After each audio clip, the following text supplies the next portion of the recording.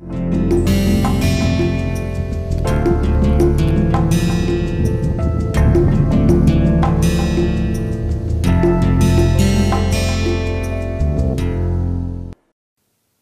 to the next lecture on the course Introduction to R Software.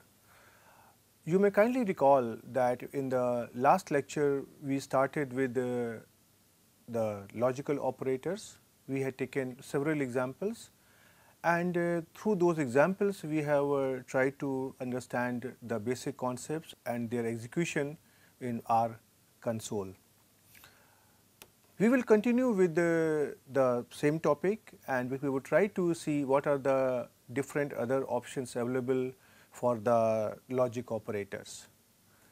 Okay. So, now just to have a quick review what we did in the earlier lecture, let us try to revise uh, the different symbols for different uh, logical operators. For example, you may recall that we had used the greater than sign to indicate the greater than logical operator and then we had used the greater than or equal to sign as another logical operator less than sign for say less than logical operator and less than equal to and exactly equal to was denoted by two equal to signs and not equal to was denoted by exclamatory sign followed by equality sign. The negation was denoted by see here exclamatory sign and uh, double denoting the AND logical operator under different types of conditions and similarly this uh, bar and double bar they were also indicating the OR logical operator. And similarly we had done uh, some other operator like a XOR and inside the bracket that was used to test whether uh, the statement for either OR condition. And similarly we had used another statement is true that was used to test whether a statement uh, called as x is true or not. And similarly true and false are the two words which are reserved for the logical operators and we cannot use it uh, and say, uh, say, as variable or at any other place by our choice. Right. Okay. Now, after this quick revision, let us try to take some more examples and we try to understand how these logical operators are going to be executed. So, let me take the first example where I am trying to generate the data uh, from 1 to 6. That means, now x is my here variable which is containing the data 1, 2, 3, 4, 5, 6. This is another approach to generate the data. Another approach that we discussed earlier that was to write down this number 1, 2, 3, 4, 5, 6 inside the bracket uh, using the combined command but this is another command that will use the same data and we are going to discuss about such commands in more detail later on. So, now briefly I have a data containing 1 to 6 integers and I want to check whether the values are greater than 2 and smaller than 5. So, my question is with this statement I want to check whether the values contained inside the x are greater than 2 and they are also less than 5. So, now if I try to solve this equation, let me take it here x equal to here 1. So, now 1 is greater than 2, this is false. Does 1 is smaller than 5? Answer is yes, true. So, now the combination of false and yes this will yield false. This outcome is based on something called truth table that we are going to discuss after a couple of slides. Similarly, in case if I try to suppose take here x equal to here 6. Now, the first statement tells me whether 6 is greater than 2, answer is here true. And similarly, if I try to say here whether 6 is smaller than 5, the answer here is false. So, now once again the combination of true and false, this will give me the answer here false and which is denoted here. Similarly, if I try to take here x equal to here 3, then the first condition said does 3 is greater than 2? Answer is yes, it is true. And the second condition x less than 5 states whether 3 is smaller than 5? Answer is yes, this is true. So, the combination of true and true will be true as per the truth table. So, and this answer is denoted over here. So, now you can see here we have operated the logical operators over a combination of two vectors. The first statement is containing some values in vector format and second statement x less than 5 is also containing the values in some vector format. Now, let me introduce you here another command. Now, in this example we have seen that we have a decision in terms of true and false, whether my statement is true or whether my statement is false and that is simply indicating whether a number is greater than 2 and the number is smaller than 5 simultaneously. But now suppose I want to know what are the values in this vector which are satisfying this condition. That means which are the values in this vector which are here greater than 2 and which are also smaller than 5. That is my question now. In order to get such an answer, I can write the logical statement like as follows. So, in order to do so, what we do that first we try to write down our requirement in the form of this condition here. Suppose in this case I wanted to know that what are the values containing in the vector x are greater than 2 and what are the values contained in the vector x are smaller than 5 and I want to know what are those values. So, what I try to do I try to write this condition inside the square bracket and here I try to write the variable name which is here x.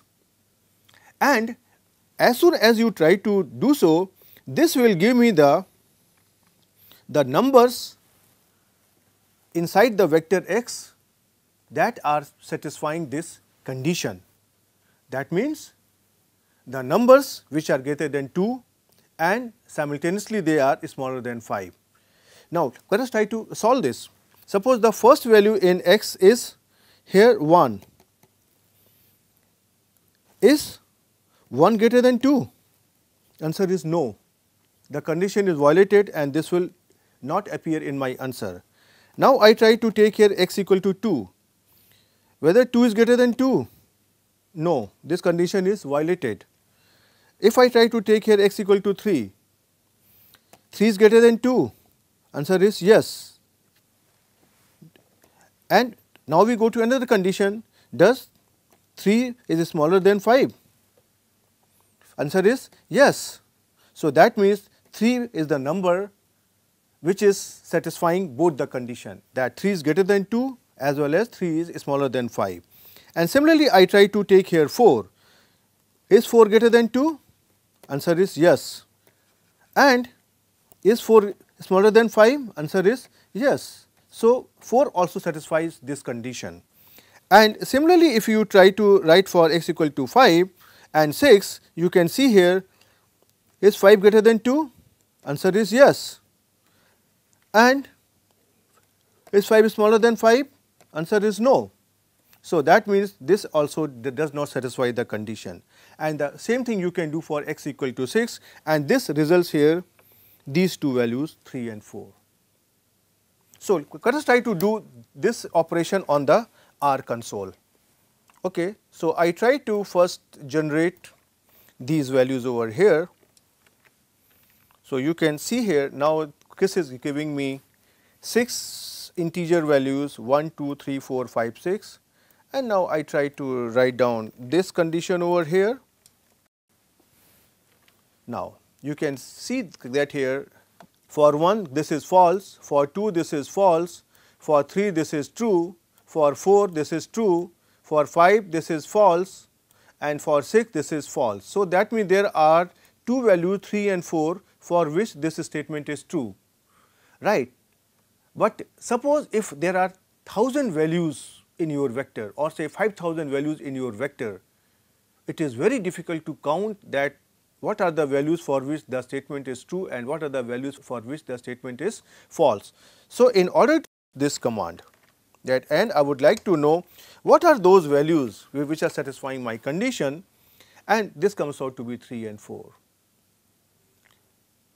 Okay. And this is the same thing which I have uh, done in this slide and I have reported in the next slide. This is simply a screenshot of what we have done here. Okay.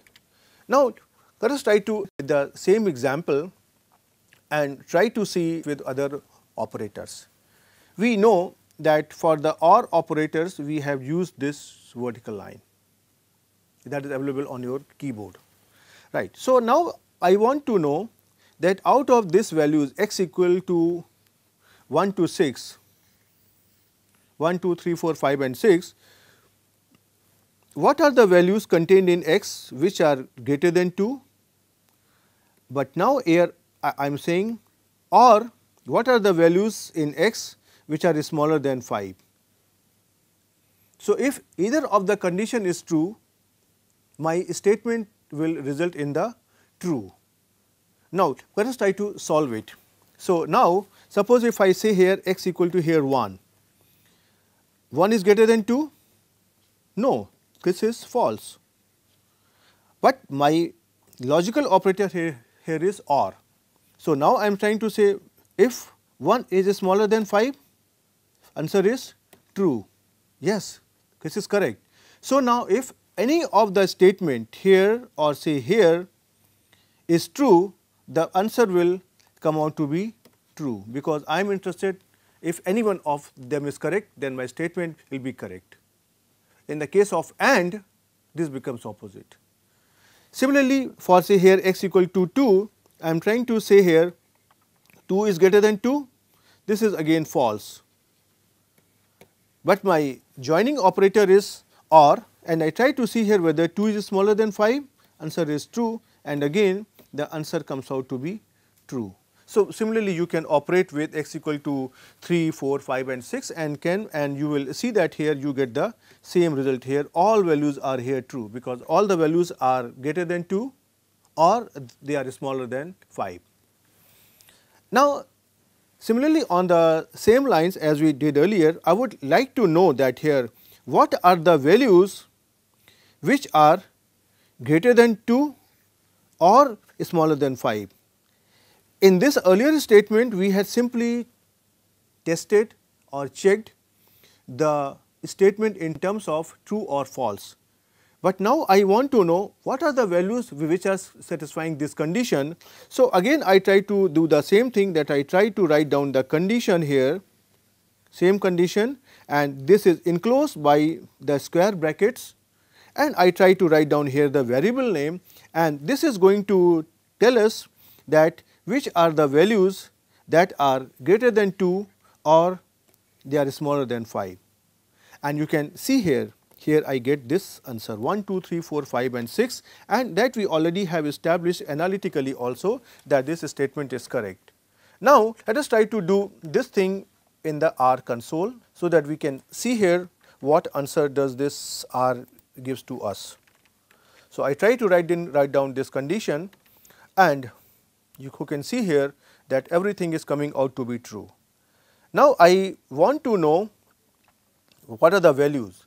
So, as I told you earlier that instead of copying and pasting again and again, I can also use my arrow keys, downward arrow key and upward arrow key. So, for example, here I use here upward arrow key and I get here the same statement and I can simply just modify it. So, that will save my time and you can see here that I get the same answer that 1, 2, 3, 4, 5 and 6 are the values which are satisfying this condition.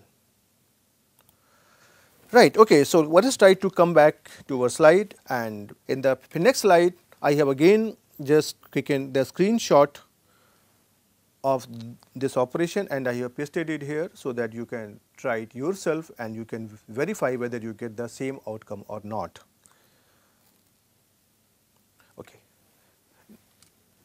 Now, I try to take here one more example similarly on the same lines I am giving you here, but I would ask you that you please try to execute it with your own hand. So, here again I am trying to change my condition from the earlier example that I am trying to say here that now x is the same vector containing the value 1, 2, 3, 4, 5 and 6 and I want to check whether the values contained in the vector x are greater than 2 and this operator is for or or the values contained in the vector x are greater than 10. So, earlier I had taken the condition x is smaller than 5 and but now I am taking the condition x greater than 10. Now, I would ask you please try to do this exercise over here, try to take x equal to 1 and you can see here that does 1 can be greater than 2? No, answer is no. And similarly, I can check whether 1 is greater than 10, answer is no. For the combination of no and no that is false and false that is going to be here false and this is denoted here. Similarly, I would request you to do the entire exercise yourself and try to check it for x equal to 2, 3, 4 up to 6. And similarly, in the next statement, I am simply trying to find out here that what are the values out of this 1, 2, 3, 4, 5 and 6 which are contained in x vector uh, which are greater than 2 or they are smaller than 10 and we get here an answer here 3, 4, 5 and 6.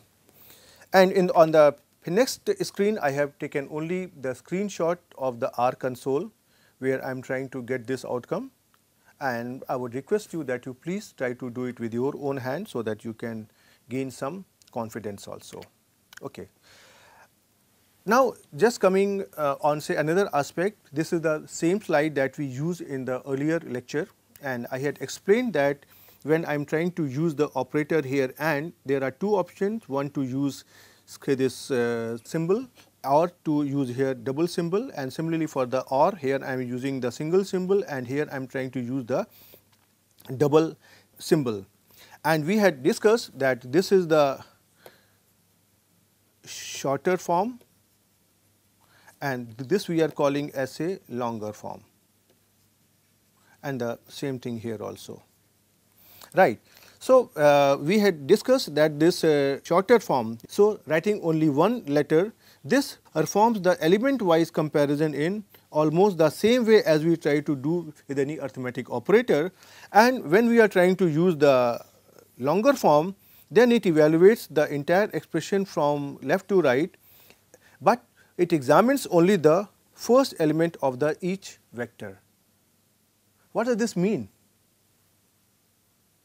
So, in order to understand the meaning of this statement, now I am going to take an example and I would try to show you that how it is executed and what is really happening inside R. So, I again take the same data set that I have here the values x containing 1, 2, 3, 4, 5 and 6 and uh, now I am trying to use here double operator, double AND sign and my condition is the same that we used in the earlier example that x is greater than 2 and x is smaller than 5. That means, I want to know whether the values contained in the vector x are greater than 2 and simultaneously they are smaller than 5 and when I try to do so, I get here this type of answer false. Let me try to show you here otherwise you may not believe on me. Okay. So, I try to copy this data in the R console and let us try to find it out here.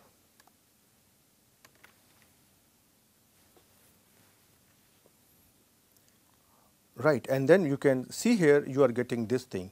On this screen, I would like to have your attention over this which I am highlighting. If you try to see, I have executed here the condition with a single AND sign and I am getting here 6 words for true and false. Whereas, here I am using the same statement, but I am using here 2 AND sign, but here I am getting only one word that is false.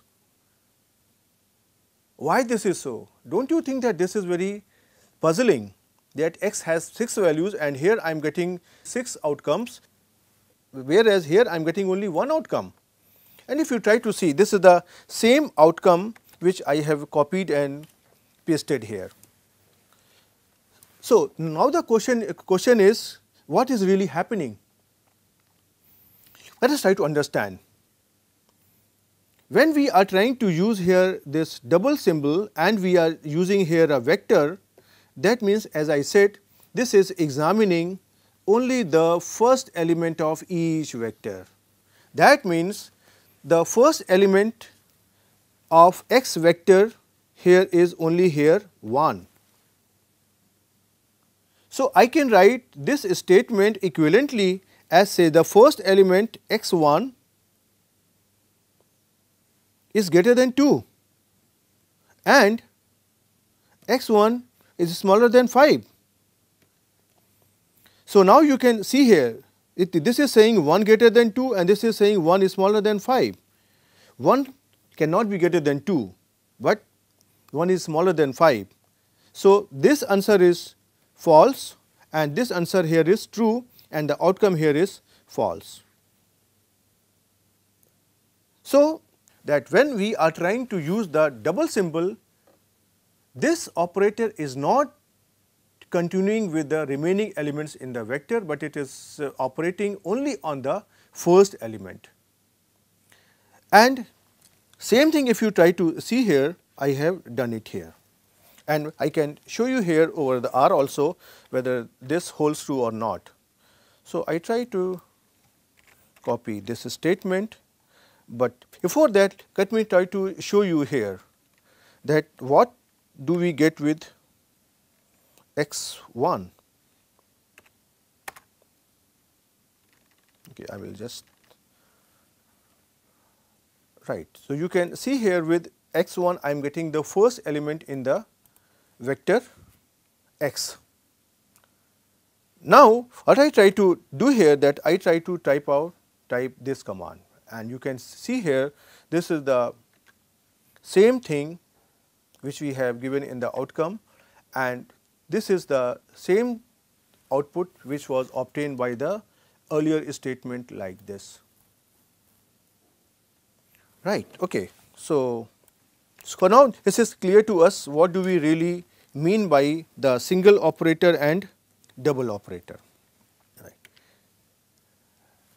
And now in case if I want to know that what are the values which are satisfying this thing, then I can use the earlier command that first I try to write down the condition here and this condition is being enclosed by this square bracket, but note that here I am using here the double and sign but it is giving me here the integer 0 that means there are no integers which are satisfying this thing. This means here what? Because this statement is operating over only the first element and it is something like this I want to know whether x 1 is the first element is greater than 2 and the first element in x is is smaller than 5 and whether this condition holds true simultaneously or not. My first value here is 1, is this greater than 2 and my first value here is 1 which is smaller than 5. Is it possible? 1 cannot be greater than 2. So, this is false. 1 is smaller than 5, this is true. But here we have here a condition at that means both these conditions have to be uh, hold simultaneously and that is why there is no integer which is satisfying this condition and I am getting here the value 0. So, now after this slide let us stop here. And uh, now you have seen that we have uh, considered different types of combination of the logical statement and we have tried to test their uh, truthfulness whether the statement is true or false. Now one thing is remaining that I want to give you the uh, details about the truth table, what is truth table and how it is created. So that we will try to do in the next lecture and in between you try to take such more example and try to execute them with your own hand on your own computer. Till then, goodbye.